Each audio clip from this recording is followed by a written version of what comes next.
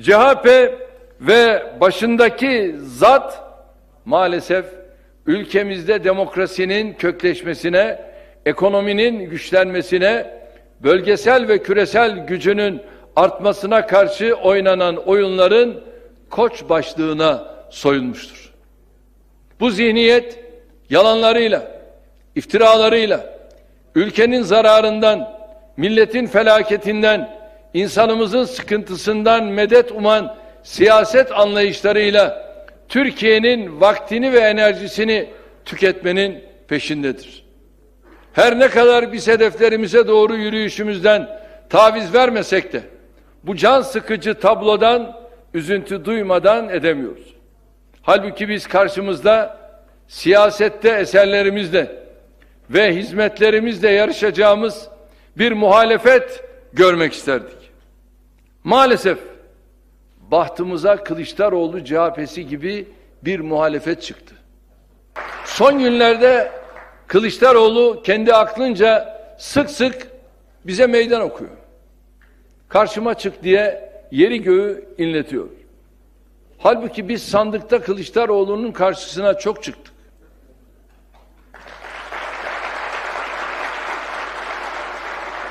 Kemal Kılıçdaroğlu 2010 yılı Mayıs ayında CHP'ye genel başkan oldu. Aynı yıl anayasa değişikliği halk oylaması yapıldı. Kılıçdaroğlu hayır kampanyası yürüttü. Biz evet dedik. Milletimiz yüzde 58'de yanımızda yer alarak daha ilk imtihanında Kılıçdaroğlu'nu sandığa gömdü.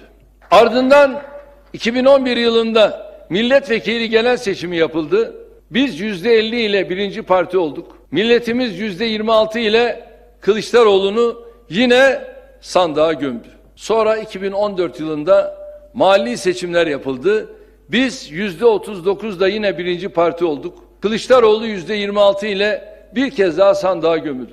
Yine aynı sene içinde Cumhurbaşkanlığı seçimi yapıldı. Kendisi yüreği yetip karşımıza çıkamadığı için ithal bir adayı karşımıza dikti.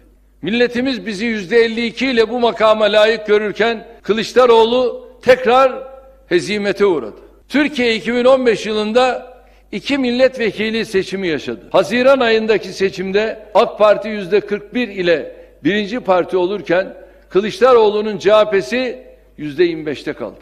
Kasım 2015 tekrar seçiminde bu defa AK Parti yüzde 50'ye yükseldi. Kılıçdaroğlu yine yüzde 25 oyla sandığa gömüldü.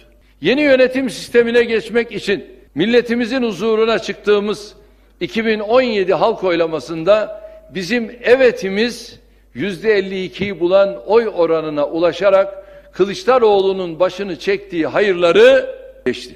Bu sisteme göre yapılan 2018 seçiminde Cumhurbaşkanlığında biz yüzde 53'e yaklaşan bir oy oranıyla milletimizden onay aldık. Kılıçdaroğlu yine kendisi yüreği yetip karşımıza çıkamadığı için ortaya sürdüğü adayla ancak yüzde otuza çıkabildi.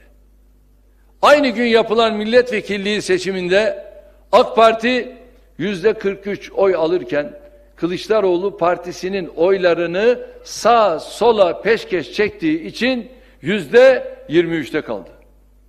Tabii bu seçimde Cumhur İttifakı'nın oy oranı da yüzde 54'ü aştı.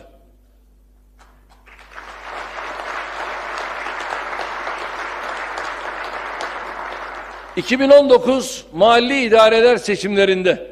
AK Parti yüzde 45'e, Cumhur İttifakı yüzde 50'ye yaklaşırken CHP ise HDP başta olmak üzere diğer partilerden aldığı tüm desteğe rağmen yüzde 30'u ancak bulabildi. Velhasıl biz Cum Kılıçdaroğlu ile doğrudan veya dolaylı olarak milletin huzurunda on defa karşı karşıya geldik. Onunda da kendisini sandığa gömdük. Bay Kemal, senin kıratın buna yetmez.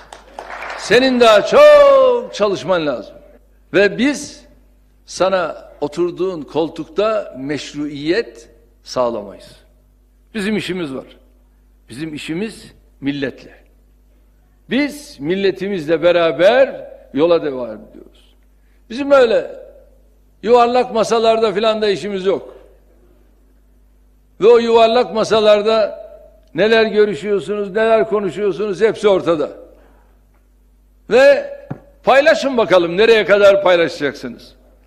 O masadan bir şey çıkmaz.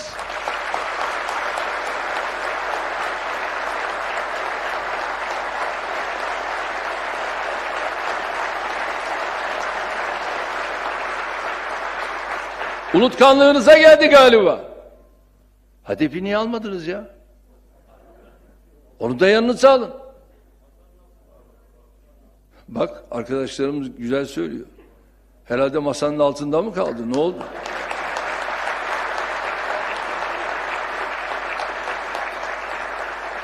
Herhalde şimdi de bir ziyarete gidersin. Ve ziyarete git ki unutulduklarını anlamasınlar. Ama bizim böyle bir derdimiz yok.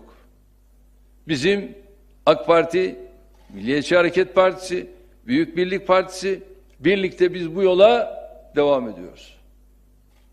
Bunlar her seçim ezimetinden sonra gereğini yapacağını yani CHP Genel Başkanlığı koltuğunu ve siyaseti bırakıp gideceğini taahhüt etmişse de tüm sözleri gibi bu da yalan çıktı. Kılıçdaroğlu'nun CHP'nin başına getirilmesi hangi projenin ürünüydü bilmiyoruz. Ama uğradığı onca seçim ezimetine rağmen orada tutulması henüz kendisine verilen misyonu tamamlamadığının işaretidir. İnşallah 2023'te milletimiz bu zatı da temsilcisi olduğu projeyi de siyaset arşivinin tozlu raflarına kaldıracaktır.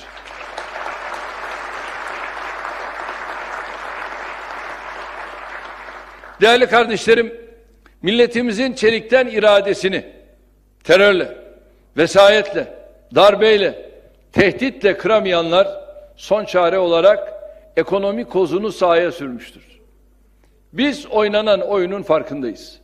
Bu oyunun unsurlarından biri de ülkemizi yaşanmaz bir yer gibi göstererek gençlerimiz başta olmak üzere insanlarımızın moralini bozmaktır. Halbuki sıkıntılarımız var ama hamdolsun elimizdeki imkanlarımız, sahip olduğumuz avantajlar çok daha fazla. Çok daha kıymetli.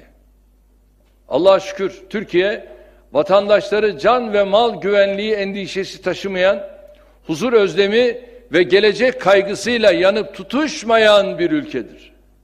Allah'a şükür Türkiye artık 30 milyona dayanan istihdamıyla insanların çalışacak iş sıkıntısı çekmediği, günü kurtarma tasasıyla kıvranmadığı bir ülkedir.